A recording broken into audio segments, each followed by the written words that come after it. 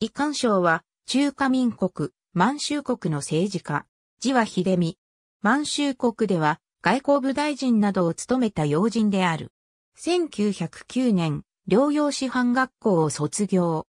以後、療養第一民立小学校長、法天省教育長、第一課課長、同庁代理長長を歴任した。1931年の満州事変後から満州国建国工作に参加し、法天教育事務、光備え所所長に任ぜられた。翌年に満州国が正式に成立した後に、法天省教育庁長長に就任している。1937年7月1日、ハルビン特別市市長に任命される。翌1938年2月10日、貧困省省長となり、同年7月、修工経済施設団団長として、防共処方を歴訪した。1940年5月16日、遺官省は外務局長官に任ぜられる。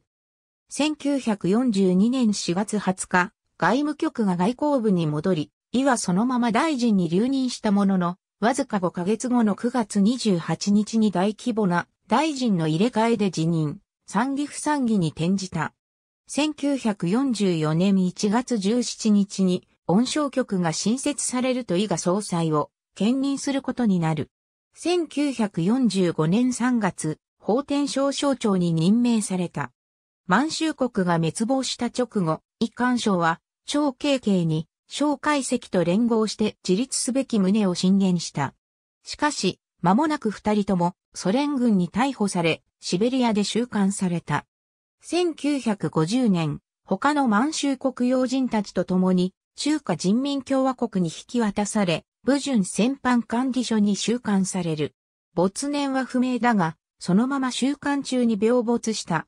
ありがとうございます。